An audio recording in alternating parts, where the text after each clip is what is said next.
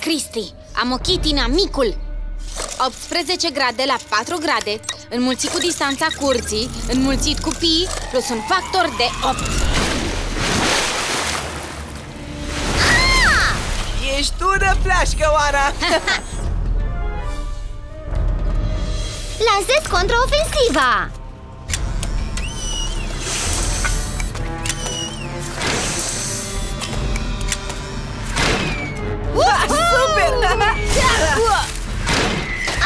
N-ai unde să te ascunzi, Cristi! Ajută-mă, Memo! O să-i opresc provizia de muniție! Bine! Ah!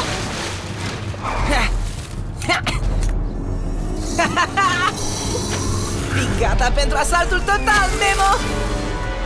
Cristi, sistemul meu de ghidare nu mai funcționează! Stai calm, Memo! Trebuie să recalibrez aici! Oh, nu! Memo!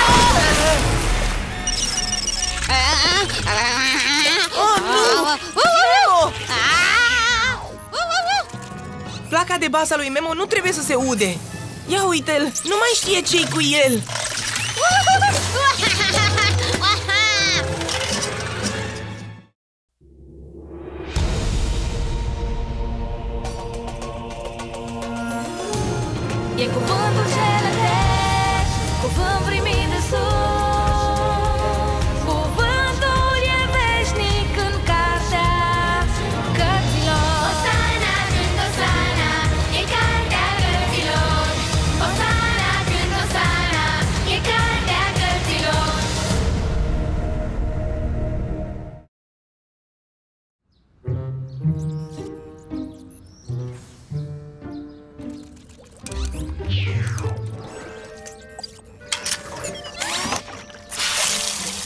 Bună, Oana! Bună, Oana! Bună, Oana! Ce mă bucur că e în regulă! Mai bine du-l în casă și roagă-l pe tatăl tău să-i facă o diagnosticare completă Haide, Memo! Eu locuiesc cu Oana Casa ei e casa mea Nu, Memo! Casa e pe aici! Ajutor! Cristi vrea să mă fure! Nu sunt robotul tău! Sunt robotul Oanei! I-ai distrus sectorul de memorie, Oana! Crede că e al tău! Ah, Cristi, îmi pare rău, a fost un accident Te rog să mă ierți Nu o să te iert niciodată, Oana! Cartea cărților!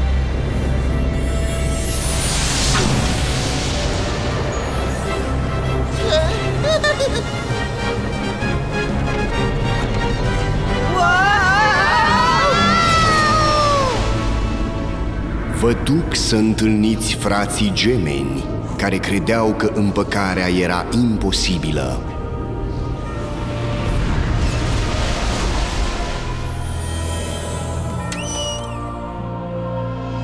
Super! Cine știe unde suntem acum? Și Memo e prăjit!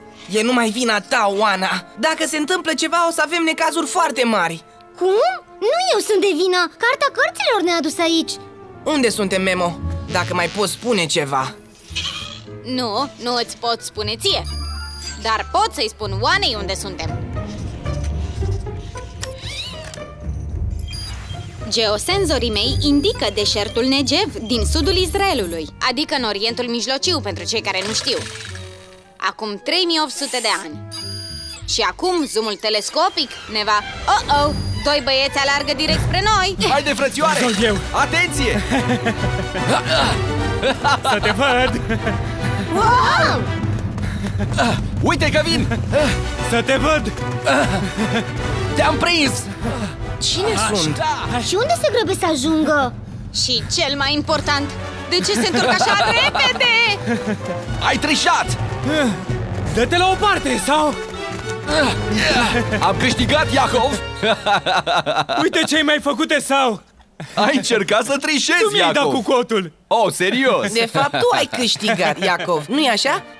Nu, Cristi, Esau a câștigat Mâna lui a atins prima piatra N-ascultați nimic din ce spune ea Eu n-ascult de fete Ha! Tu asculți de mama! Ești doar un băiețel care se ascunde după fusta mamei Cere scuze! De ce? Ah. Nu mint! Cereți scuze! Fă mă! Destul! Esau, fiul meu, te declar pe tine câștigător.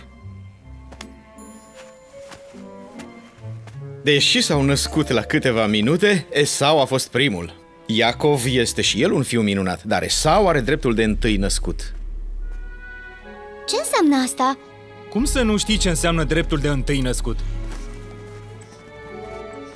Oh, Ana, vin și eu! Întâiul născut moștenește de două ori mai mult decât oricare alt fiu și va conduce familia. Înțeleg! Are mai multă autoritate asupra ta, așa cum Oana are mai multă autoritate asupra mea decât Cristi. Și familia noastră e binecuvântată. Domnul a vorbit cu tatăl meu, Avram, acum mulți ani și i-a spus să se uite pe cer și... Am auzit povestea de multe ori, tată. Domnul i-a spus lui Avram, uită-te spre cer și numără stelele dacă poți. Așa va fi sămânța ta. Wow, asta da familie numeroasă. și ca întâi născut, tot ce a spus Dumnezeu se va împlini prin tine, Esau.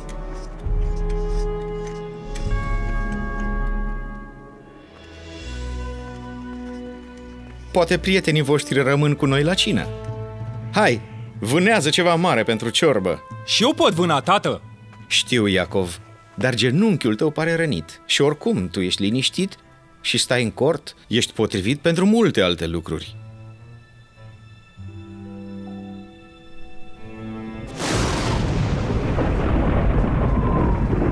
Acum hai să vânăm Esau până nu se pornește furtuna. Da, tată. Eu mă duc cu Esau. Eu mă duc cu Oana. Bine, du-te!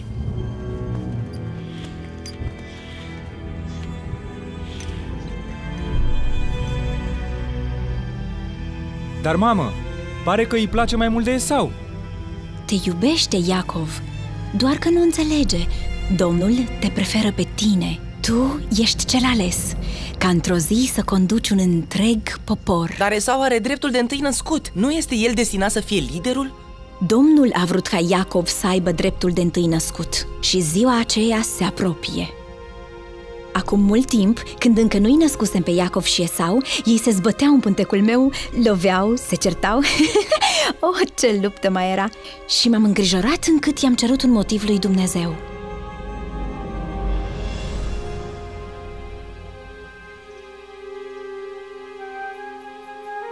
Doamne, dacă e așa, pentru ce mai sunt însărcinată?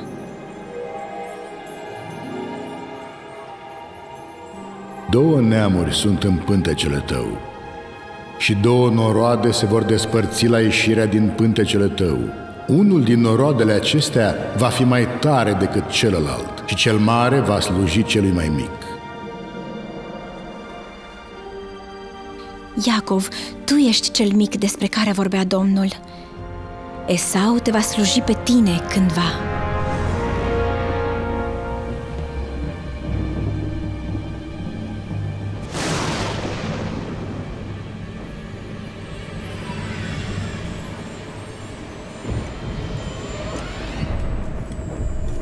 Ai fost înțeleaptă că ai venit cu mine. Îți arăt secretele vânătorii.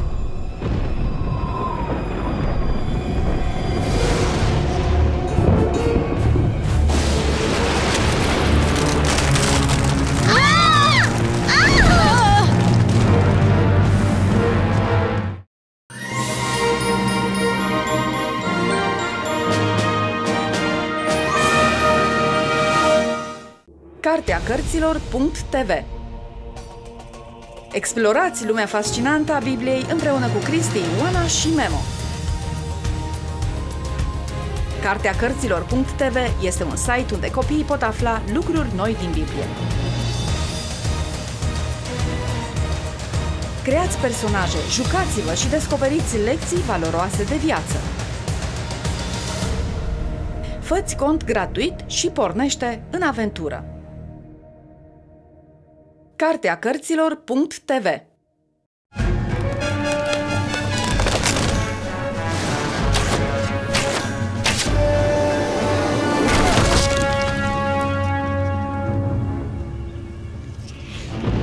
Încă un om ce trebuie să stea la cort. Mai bine mergeai cu Iacov. Nu vrei să ne întoarcem, a?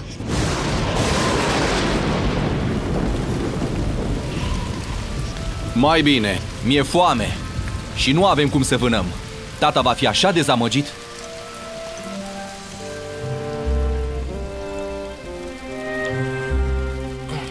E grozavă, Iacov! De ce să fii vânător când poți găti, nu? Dacă aș fi putut merge la vânătoare azi, i-aș fi arătat lui tata că pot să o fac.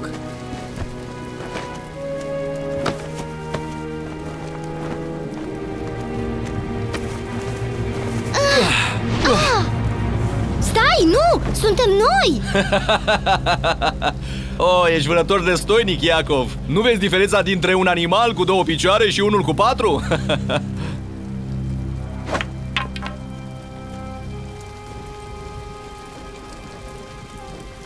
ah, mi-e foame.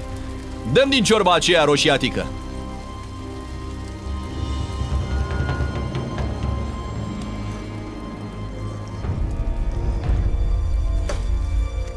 Asta? Dăm moștenirea ta. Vindem dreptul tău de întâi născut. Cred că o să mor de foame. Dăm ciorba. Dăm moștenirea ta, frate. Vindem dreptul tău de întâi născut la schimbul unui castron cu ciorbă. Dăm ciorba. Dar ce face? Dăm moștenirea ta, frate. Vindem dreptul tău de întâi născut. Oh, iată-mă, sunt pe moarte. La ce-i bun dreptul ăsta? Jurăm întâi că îmi dai dreptul de întâi născut. Întâi născut, întâi născut. Jur că-ți dau dreptul meu de întâi născut. Gata. Acum dăm ciorba. Mulțumesc, dragă frate. E cartea cărților! Haideți! Nu voi merge cu tine. Sunt robotul Oanei Nu și... acum, Memo! Ceea ce ați văzut este doar începutul unei mari separări dintre acești doi frați. Acum unde suntem? Geosenzorii mei spun că suntem într-un loc numit Haran, dar este ceva mai târziu. Stați să încerc să... Mama mi-a spus că pentru siguranța mea să vin să locuiesc aici în ultimii ani. Este Iacov? Și n-am luat nimic de la familia ta ce nu mi s-a dat de Da, cuia. și dacă își amintește de noi, ne va pune întrebări la care nu-i putem răspunde Atunci trebuie să ne deghizăm. Te voi proteja eu, Oana. Uite, îmbracă astea. Da, Memo, Sunt eu am pentru găsit Oana. asta! Ieți, mai încet! Memo! Voi, fiii lui Laban v-au pus să mă spionați? N-am vrut să tragem cu urechea Nu suntem răi, deloc! Păi, nu stați degeaba. Curățați mizeria. Wow, ce comportament țăpnos! Știu eu cum să-l înveselim Îmbrăcați hainele astea Ah, ce bine miroase! Ah, ciorbă! Exact cum o făcea mama lui când era copil.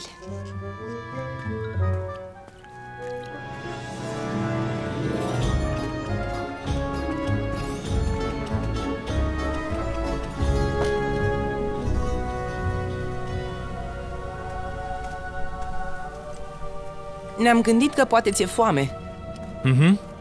Oh, n-am poftă de mâncare. Dar îmi cer scuze că m-am purtat așa aspru cu voi. Ce ai, Iacov?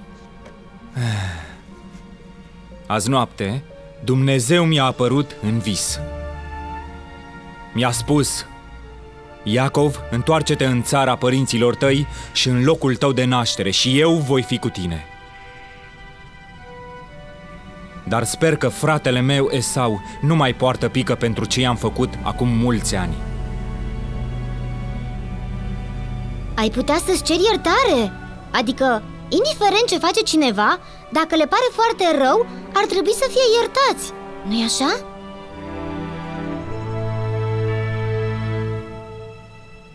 N-am de unde să știu. Acum mulți ani l-am păcălit pe tatăl meu ca să-mi dea binecuvântarea fratelui meu. Oare există iertare pentru așa o faptă?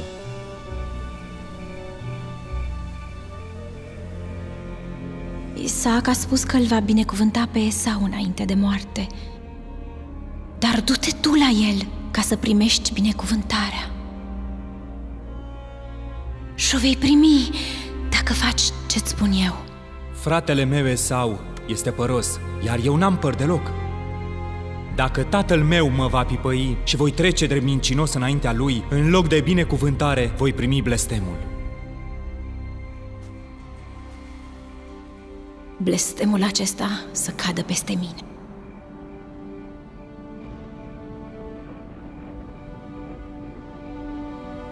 Așa că am făcut ce mi-a spus mama. Care, care dintre fiii mei ești tu? Eu sunt Esau, fiul tău cel mai mare. Am făcut ce mi-ai spus. Hai, șezi de mănâncă din vânatul meu pentru ca să mă binecuvânteze sufletul tău. Ah, apropie-te ca să te pipăi, ca să știu dacă ești cu adevărat fiul meu Esau. Glasul este al lui Iacov, dar mâinile ale lui Esau. Te rog, apropie-te și sărută-mă, fiule.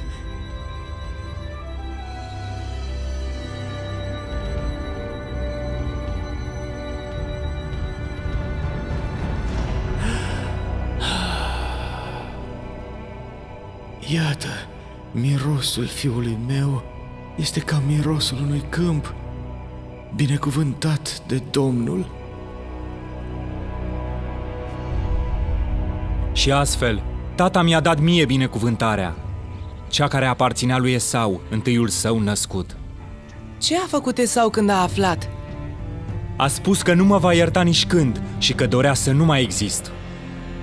Wow! Nici eu nu sunt așa de supărat. Mama și tata m-au trimis să locuiesc aici cu unchiul Laban, până când va trece furia lui Esau.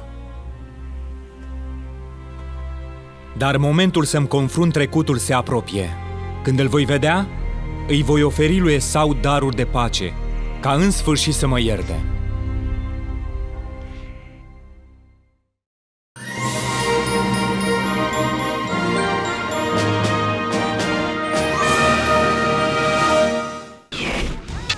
Părinți, instalați noua aplicație gratuită Cartea Cărților pentru Copii. Cei mici vor descoperi povestiri biblice pe înțelesul lor și vor învăța principii creștine prin activități interactive.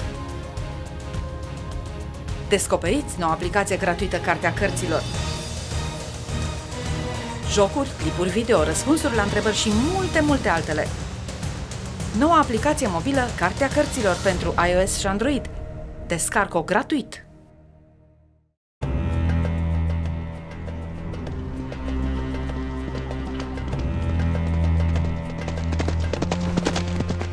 Servitorii au făcut cum le-am cerut și au dus darurile fratelui meu sau? Stăpâne, fratele dumitale ne așteaptă cu peste 400 de oameni. Mă temeam că este încă supărat.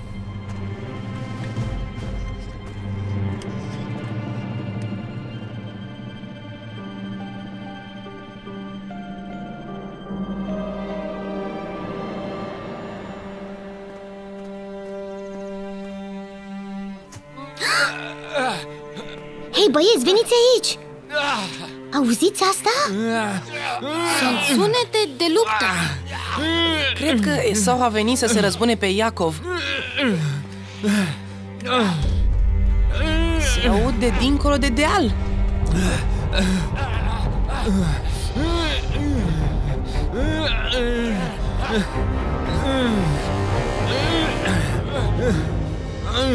Dar cine sunt?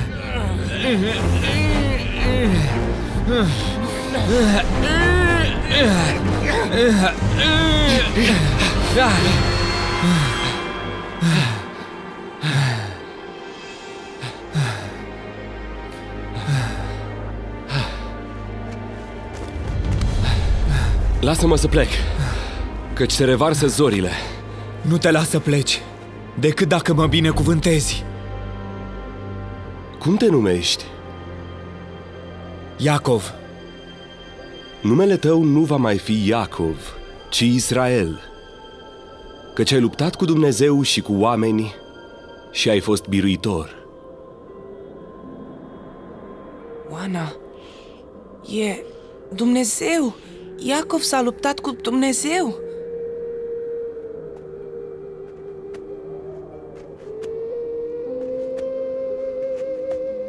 Iacov, ce s-a întâmplat? Voi numi locul acesta Peniel, căci am văzut pe Dumnezeu față în față și totuși am scăpat cu viață. M-am luptat cu Dumnezeu. Acum sunt gata să-l văd pe Esau.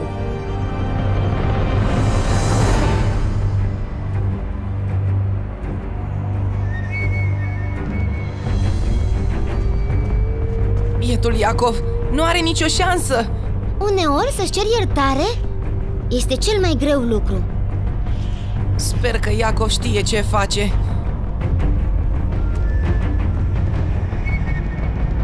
Uh, Poate că în loc de iertare, Iacov ar trebui să ceară o armată cât a lui Esau. Nu pot privi. Uh, Bine, doar un pic. Nu! Mai bine nu! Uh!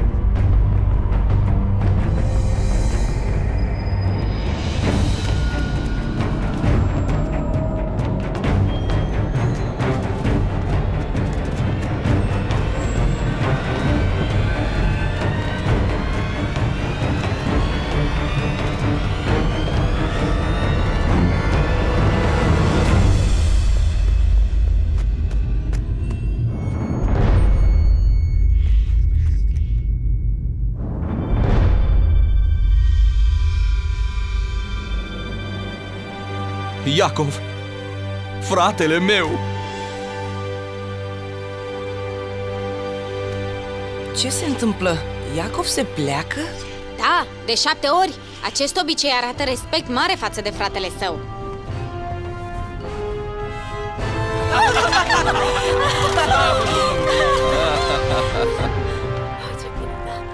Oana?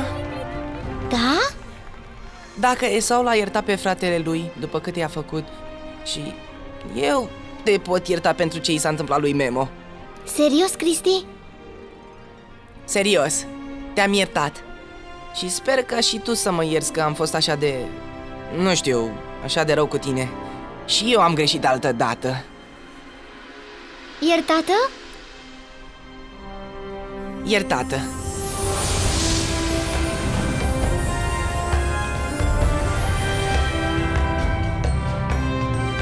Mă bucur să te am înapoi, frate.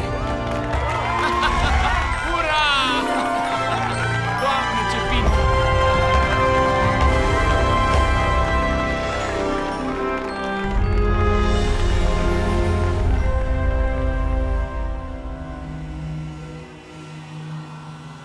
Bună idee să folosim ventilatoarele să uscăm circuitele lui Memo Acum să-l testăm Bine Ne mai vedem, Memo Eu mă duc acasă Bine, Oana! Pa, pa! Haide, Cristi! Cine ajunge ultimul e un împiedicat! Uhu, super! Mă bucur că lucrurile s-au întors la normal pe aici Și eu, și nu ne mai batem cu apă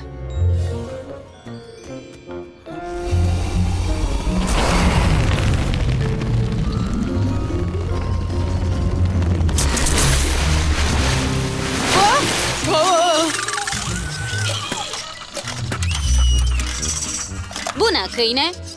Bună, câine! Nu, nu, nu, nu, nu, nu, Memo, Bună, stai! câine! Așteaptă-ne! Stăpâne! Stăpâne! Hei, vin și eu, stăpâne! Vin și eu, stăpâne!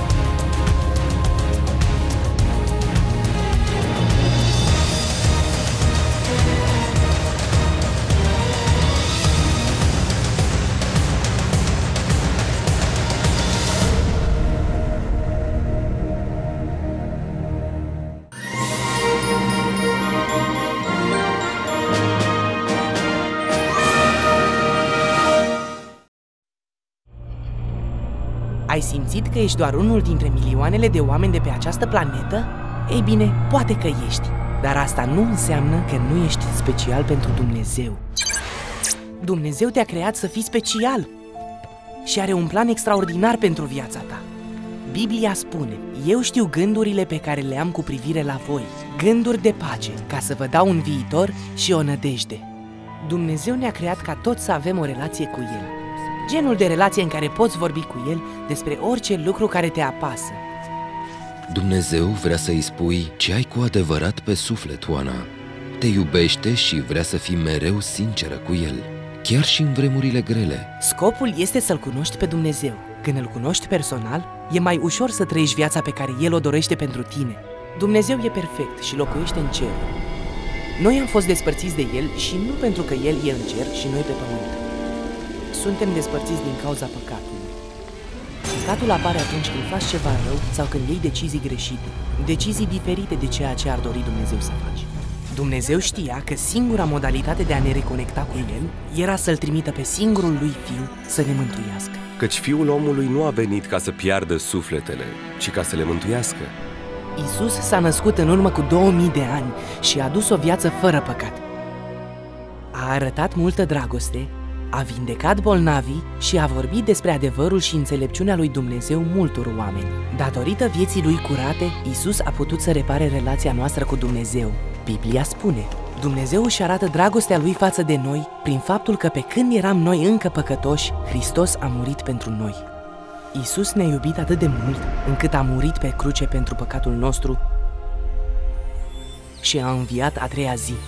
Cea mai mare dovadă de dragoste a fost jertfa care a înlăturat distanța dintre tine și Dumnezeu. Isus este calea spre viața veșnică alături de Dumnezeu. Dacă îl accepti pe Isus ca mântuitor, relația ta cu Dumnezeu începe de acum, de pe pământ. Biblia spune că dacă îl mărturisești cu gura ta pe Isus ca Domn și dacă crezi în inima ta că Dumnezeu l-a înviat din morți, vei fi mântuit. Pentru a începe această relație cu Dumnezeu, trebuie să crezi în inima ta și să spui că Isus este Domnul vieții tale. Doamne, Tu știi totul. Știi că te iubesc. Ce părere ai? Nu-i foarte complicat, nu-i așa? Deciziile noastre greșite ne-au despărțit de Dumnezeu. Prin Isus, noi putem să avem din nou o relație cu Dumnezeu. Trebuie doar să ne pară rău pentru alegerile noastre greșite, de păcatul nostru și să recunoaștem că Isus este Mântuitorul nostru. Ai vrea să te reconectezi cu Dumnezeu și să-L rogi pe Isus să-ți fie prieten chiar acum? Ca să începi o relație cu Dumnezeu, repetă această rugăciune după mine. Doamne, recunosc că am făcut lucruri care sunt împotriva voii tale. Vreau să am o relație cu tine. Te rog să mă ierți pentru păcatele mele. Cred în inima mea că Isus a murit și a înviat din morți ca să-mi șteargă păcatul și recunosc că Isus Hristos este Domnul și Mântuitorul meu. Te rog să mă umpli cu Duhul Tău cel Sfânt ca să pot face ce-mi spui Tu. Mulțumesc pentru că m-ai mântuit și că m-ai făcut copilul tău. Te rog să-mi vorbești și ajută-mă să aud vocea ta și să urmez calea pe care tu vrei să merg. Aștept cu nerăbdare să petrec timp cu tine aici pe pământ și acolo sus în cer. Îți mulțumesc că m-ai mântuit și că mi-ai ascultat rugăciunea. În numele lui Isus, amin.